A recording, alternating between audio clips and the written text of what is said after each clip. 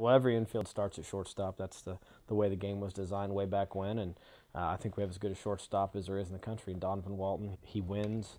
He plays great defense. He uh, he's a clutch hitter. He has quality at bats. He can do everything from laying down a sac bunt to hitting a home run to uh, executing a hit and run to drawing a walk to a two-strike base hit. He's just one heck of a player, and uh, he's an even better kid. And I say that that's a that's a true compliment because he is a great player, but. He's a wonderful kid. He's got great work, work ethic. Uh, he's a very inclusive kid to all his teammates. He's just a real bright spot on our team every single day. Uh, first base, Dustin Williams returns. Had a very good sophomore year. He's improved uh, from a year ago. He's stronger, and, and, I think he'll continue to, to build on what's been a, pretty good two-year uh, output to this point.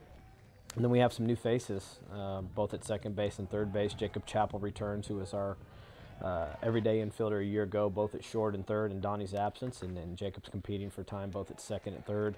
Uh, we saw he did good things as a freshman. Garrett Benge is a newcomer at third base and had a really good fall, and uh, offensively brings a lot to our lineup. So he's a guy at third base right now that's that's done a really good job to this point. And then some guys in Andrew Rosa, who comes back from an arm injury a year ago, uh, working hard to get back on the field. J.R. Davis, a uh, first-year kid coming out of Seminole Junior College. Uh, has a bat loaded with some energy in it and a very good athlete.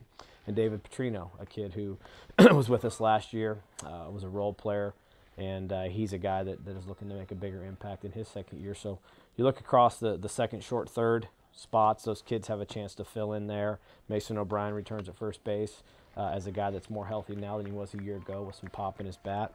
And uh, Nick Gallo kind of rounds out our, our infield picture as a guy that can play all three infield positions and uh, is extremely sure-handed. So we've got some good options there.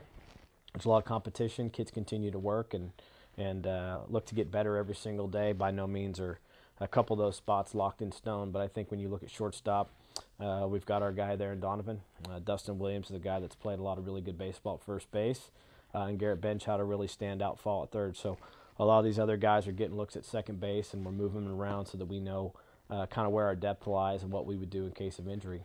Um, so it's good collection of infielders.